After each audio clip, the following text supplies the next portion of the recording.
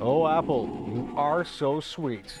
Here's a look at the new Jenny Craig version of the slimmed down iMac, which kind of reminds us of a huge iPhone. Well, kind of.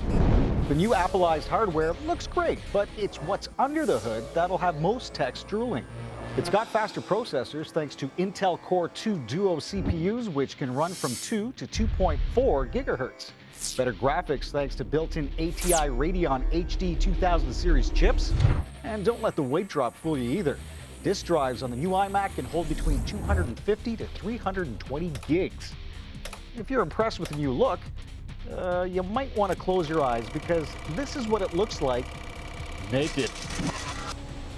Not 48 hours after the new iMac was released, some technophobes from Japan decided to upload photos of the new iMac minus its casing. Yeah.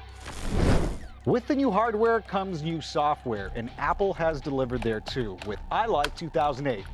iLife features a host of applications like GarageBand for music creation. There's iWeb for customizable controls over web pages. iMovie is also featured to help out with video clip editing. And last but not least, iPhoto for quick and easy photo organization. Which comes in handy, of course, when you have pics of Uncle Bob you'd like to email to friends. Yeesh.